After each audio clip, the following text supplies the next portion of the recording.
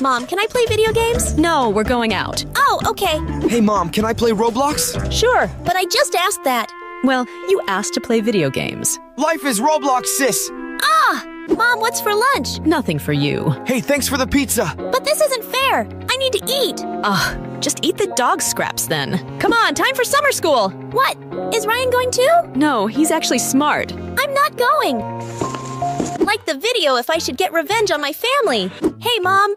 Brother. Fancy turning up at a time like this. What do you want? Oh, just this house. We just got kicked out. Nobody's getting it. I am. I brought it. What? Please let us move back in. Should I let them stay? Yes or